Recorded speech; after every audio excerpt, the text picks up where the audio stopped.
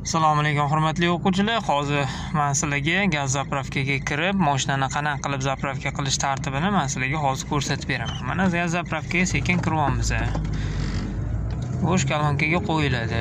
Bismillah deb sekin. Mana mana bu kolonkada sal mashina kamroq ekan. Mana shu kolonkaga qo'yiladi.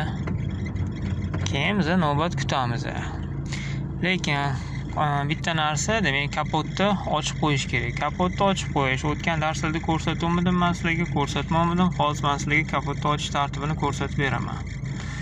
Mana mana bu yerda demak maxsus richak bor. Ko'ryaptimi mana shu richakka demak tortiladi. Mana shu demak kapotni ochadigan richak hisoblanadi. Kapotimiz mana qiyi bo'lsa ham sal ochildi. Keyin bizani gal kelgandan keyin zapravkaga to'liq demak kiriladi. Kirganimizdan keyin demak nima qilinadi? Kapotni ochib qo'yiladi. Mana hammasi nima qilishyapti? Kapotni ochib zapravkada turishibdi. Hozir kapotni ochaman deb man sizlarga u yog'ini hozir ko'rsatib beraman. Yana bitta narsa demak zapravkaga kirgandan keyin yo'lovchilar bo'lishi kerak emas. Yo'lovchilar maxsus kutish joyida demak nima qilishadi? Kutib turishadi u vanitda bu yerda demak hozir bizada yo'lovchilarimiz yo'q. Demak har doim e, xavfsizlik nuqtai nazaridan yo'lovchilar tushiriladi. Mana bizani galimiz ham keldi. Mana hozir sekin zavod qilamizda maxsus joyga qo'yamiz keyin qo'yayotganda ham hozir ko'rsatib beraman man sizlarga chiroqni yoqib turib tak mana qaranglar qayerda to'xtash kerak qayerga qo'yish kerak. Hozir man sizlarga ko'rsatib beraman. Mana galimiz keldi sekin mana qo'yyapmiz mana mana bu yerda maxsus to'xtash chizig'i bor ko'ryaptimi? Mana shu to'xtash chizig'i mana to'xtaymiz e.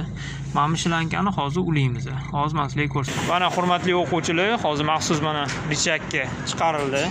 Mana mana shu richak chiqariladi va shlanka ulanadi.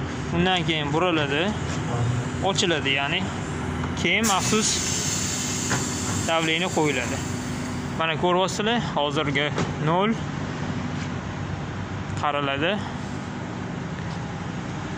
Datchiklar boshqa summa turibdi.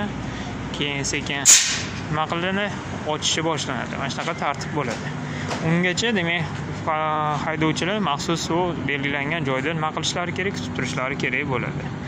E'tiboringlar uchun rahmat. Hozir pauzadan keyin to'lgandan keyin man sizlarga ko'rsatib beraman. Hurmatli o'quvchilar mana maxsus mana bunaqa demak chizuv bo'ladi. Mana shu mashinadan demak mana shu masofada nima qilish kerak? Haydovchilar chiqib turishlari kerak bo'ladi har ehtimolga qarshi. Demak nimaga biror bir xavf tug'diradigan bo'lsa bampi xavfsiz xavfli xavfsiz masofa hisoblanadi. Demak xavfsiz hudud hisoblanadi. Hozir mana zapravkamizni to'lyapti mashinamizni. Kolonkadan e'lon qilishadi. To'ldi bo'ldi deb undan keyin yana olib turib man sizlarga qolgan jarayonni sekin ko'rsatib beraman. Mana hurmatli o'quvchilar zapravkamiz to'ldi. Endi ajratyapmiz mana qaranglar tartib qanaqa bo'ladi? Ketma ketligi hozir mana chiroq qilib qo'yaman to'xtang chiroqni ko'rsatib oling. Ha mana birinchi navbatda mana mana bunisi yopiladi. Yopildi bo'ldi. Endi gaz chiqib ketib qolmaydi. Qolgan gazni mana bu maxsus chiqarib yuborish mana chiqib ketdi.